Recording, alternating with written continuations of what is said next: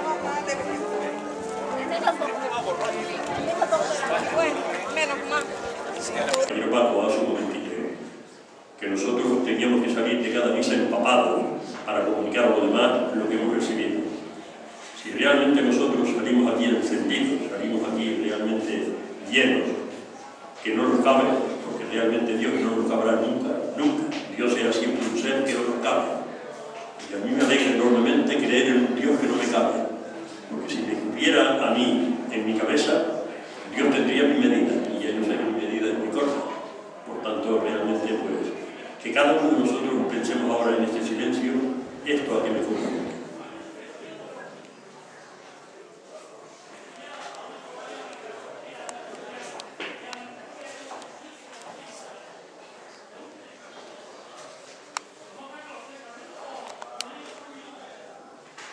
Y antes de terminar, pues quería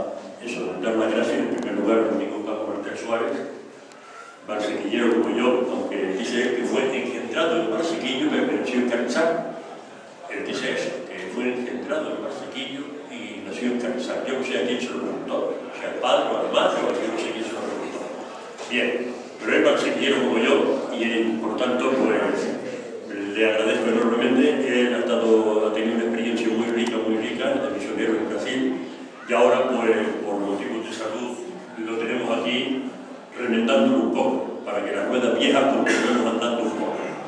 La rueda vieja continuemos nosotros, sigamos para adelante. Bien, te agradezco Paco el detalle de habernos acompañado en esta fiesta. Agradecer naturalmente a la comisión de fiestas, la comisión de fiestas que se lo ha currado, porque no crean ustedes organizar una fiesta es fácil, es difícil. Y en estos tiempos que corren mucho más difícil, porque encuentran puertas abiertas de par en par, pero encuentran también puertas en las narices. De todo hay en la viña del Señor, y hay gente que colabora, y la verdad es que gracias a los que colaboran, de una forma visible o de una forma invisible, porque hay mucha gente detrás de las lamparinas que están precisamente colaborando también. Y a eso también les agradecemos. Hay gente que aparece y hay gente que no aparece. Por tanto, a todos les agradecemos la colaboración porque lo que decía mi padre siempre, mucho, un grano no hace granero, pero ayuda al compañero. Un grano no hace granero, pero ayuda al compañero. Y muchos pocos hacen mucho. Pues agradecemos a la presidente y a toda la comisión pues, lo que se ha acordado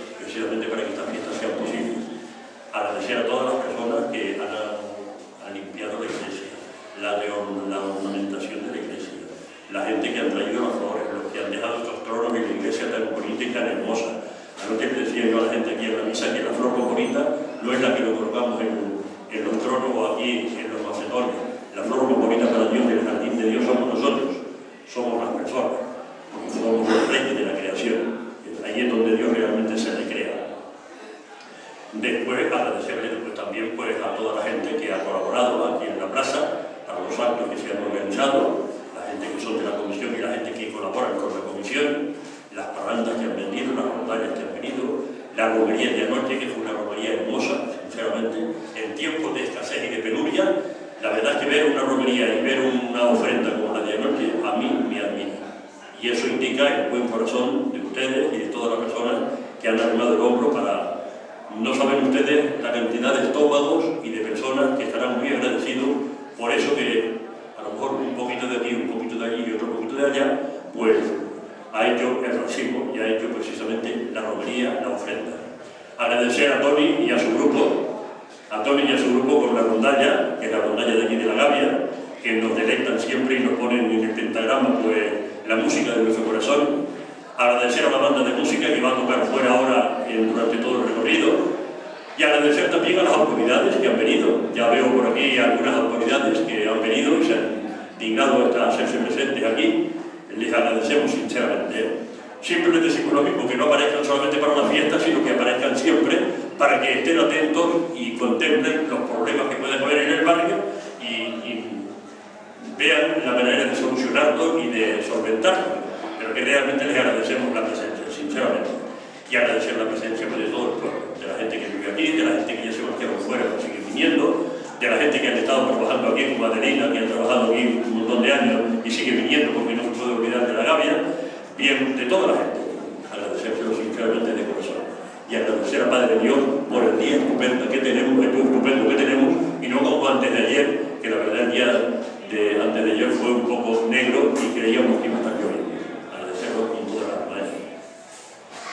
¡Viva María Auxiliadora! ¡Viva!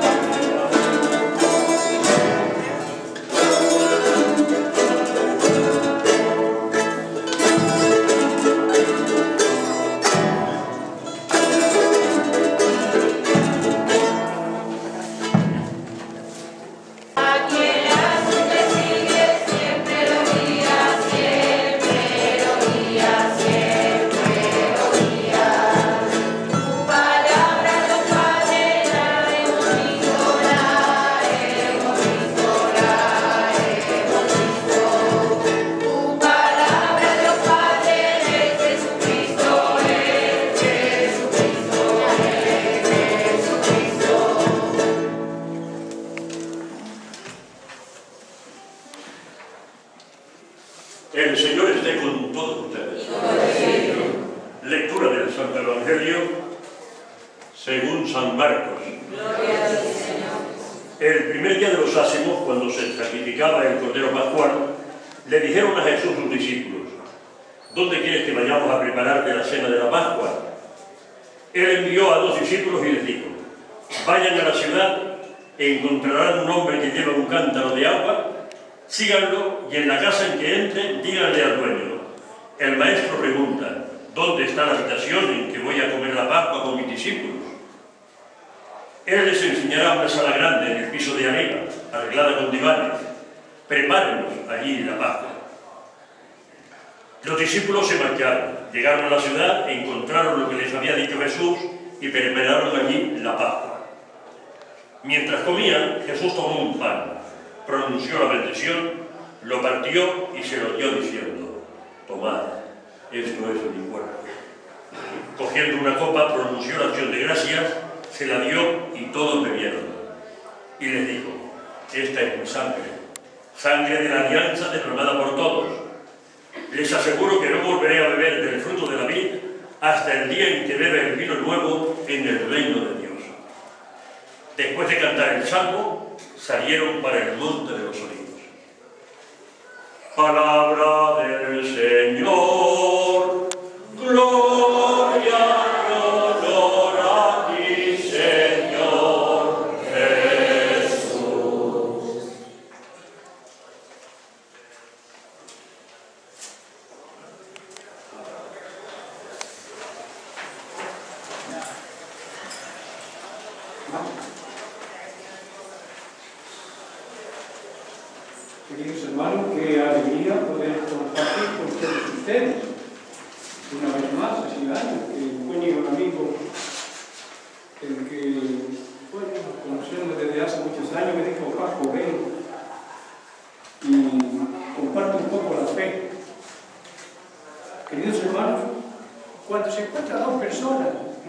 le decimos que, ¿cómo estás? Y otra pregunta, ¿cómo está la salud? Y vamos diciendo, pues está arreglada, está... Eh, eh, es una respuesta normal. Hoy preguntamos, cuando celebramos eh, estas dos grandes figuras, la Madre y el Hijo, María Auxiliadora con el título, y aquí tenemos este corazón de Jesús, Queridos hermanos, no sé si ustedes han visto un, corazón por dentro. Yo a veces, me, al tener el trabajo de capellán, a veces me toca, pues eso, ver el corazón por dentro y también ver personas que le quitan un corazón y le ponen otro. El cristiano todos los domingos necesita ponerse un corazón para amar, para perdonar. El Papa dice, este Papa es fuera de sí. Esto ha sido un regalo Prefiero una iglesia con heridas, no quiero una iglesia cerrada y con obsesiones. Cuando pasas por un sitio donde hay un incendio, ¿a qué huele después? Y huele, huele a humo. El cristiano que el domingo no se acerca a la palabra de Dios y luego no huele a evangelio, entonces no ha tocado, no ha tocado la fe. ¿Cómo está usted? Es la pregunta que me hace el médico cuando le visitamos. A ver, tengo un dolor aquí, tengo, estoy lleno de dolores. Y empieza a poner medicina.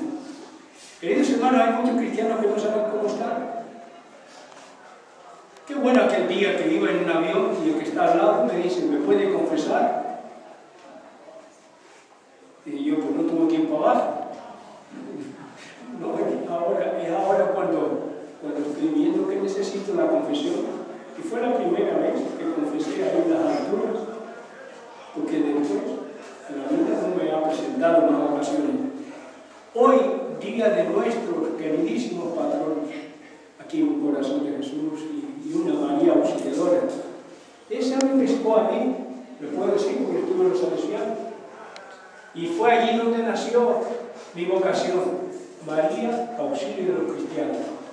Queridos hermanos, tenemos que preferir una iglesia con heridas una iglesia que va saliendo y animando. Todo cristiano. Cuando tiene una conducta, provoca. ¿Qué te pasó? Vemos a gente herida. ¿Qué le pasó? Un pequeño accidente. El cristiano tiene que estar siempre accidentado de amar, de perdonar. Por eso, por el bautismo formamos una familia marcada. Si yo pregunto aquí, así es la confianza que tenemos, tal vez en otro sitio no pregunto, ¿me puede levantar la mano los que recuerdan el día del bautismo? Su bautismo, el día, no el día que nació, sino el día que fueron bautizados. Yo, me pasó? Me pasaba cuando estaba en la misión me di cuenta que todos en la iglesia sabían el día del bautismo, menos yo.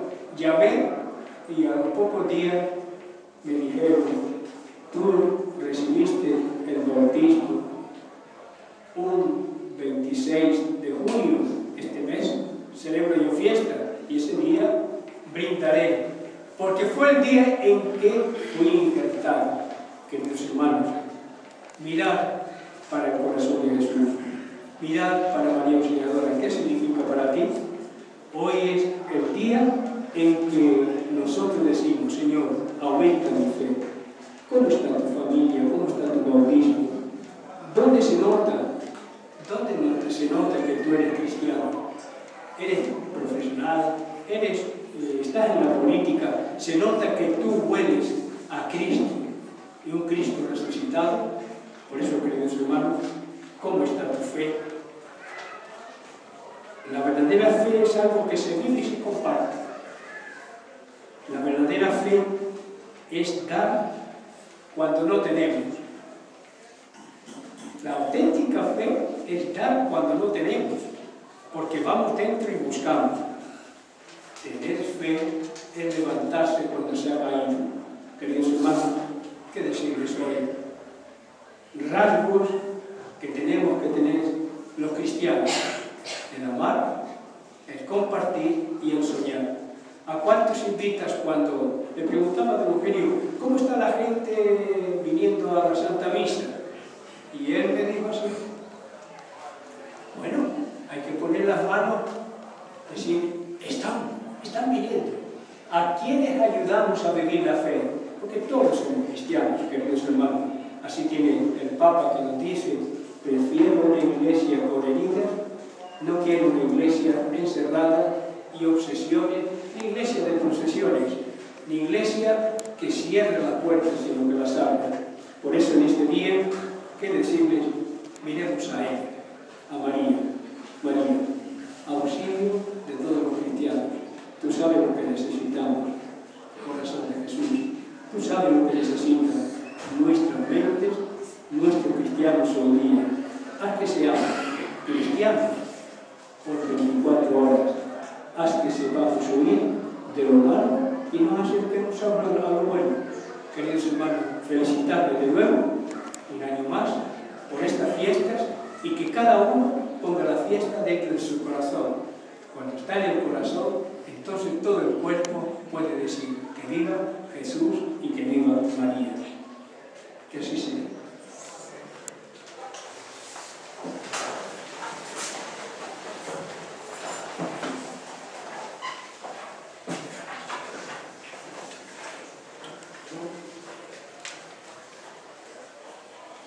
Creo en Dios.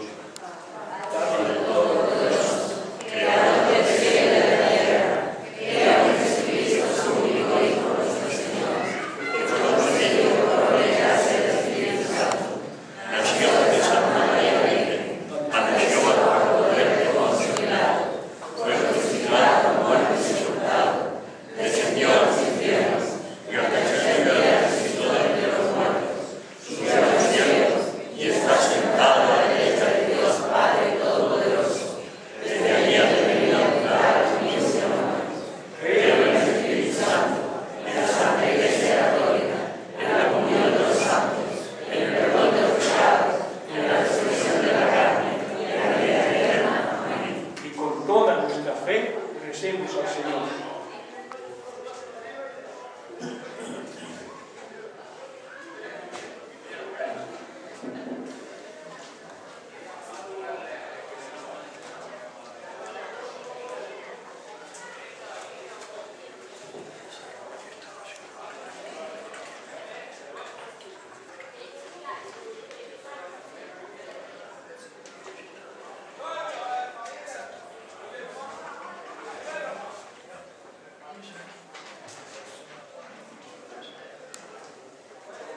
Por la Santa Iglesia de Dios, para que a ejemplo de María, la humilde esclava del Señor, no pretenda ni busque grandezas humanas, sino que sepa siempre moderar y vencer la tentación del tener y del poseer. Roguemos al Señor. Por todas las personas que no conocen o se han olvidado de Dios y de todo lo referente al tema religioso, para que María, la más santa de todas las criaturas, interceda por ellos para que lleguen al conocimiento de la buena noticia del Evangelio y encuentren en el corazón de Dios y de su Hijo Jesús la luz que alumbre su caminar y la razón de su felicidad. Roguemos al Señor.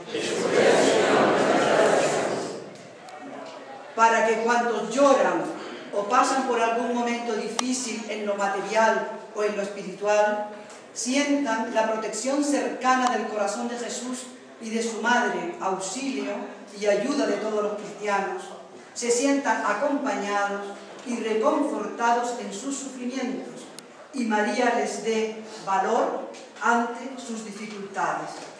Roguemos al Señor. Por nuestro pueblo de la Gavia, por cada persona, anciano, joven o niño, con buena salud o enfermo, por cada familia, para que se sientan siempre amparados por el corazón de Cristo y por su Madre, la Virgen, crezcan en prosperidad y maduren en los valores del Evangelio y les conceda su bendición y su gracia, roguemos al Señor. Por los gobernantes del mundo, de España y de Telde, para que en medio de las crisis que sufrimos sepan sembrar ilusión y esperanza, sean ejemplo de austeridad y gobiernen con justicia, atendiendo preferentemente a los más pobres y sean dignos y honestos representantes del pueblo que les ha elegido. Roguemos al Señor.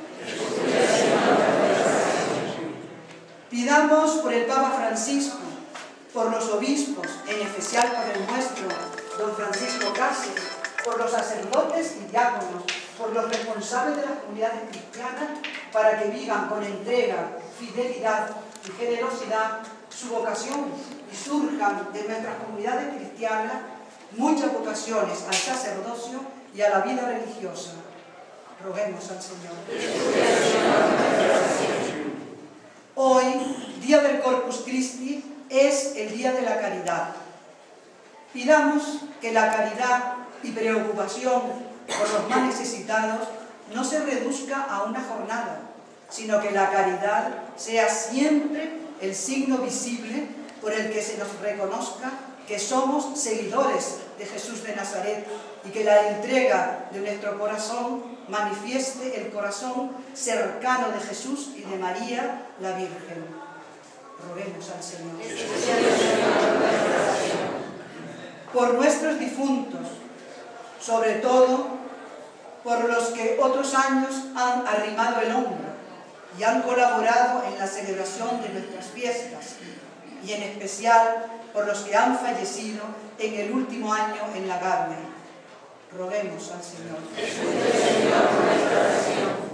Por todos nosotros, para que al participar del banquete de la Eucaristía, al partir el pan, sepamos sembrar a nuestro alrededor paz, amor, justicia y servicio desinteresado.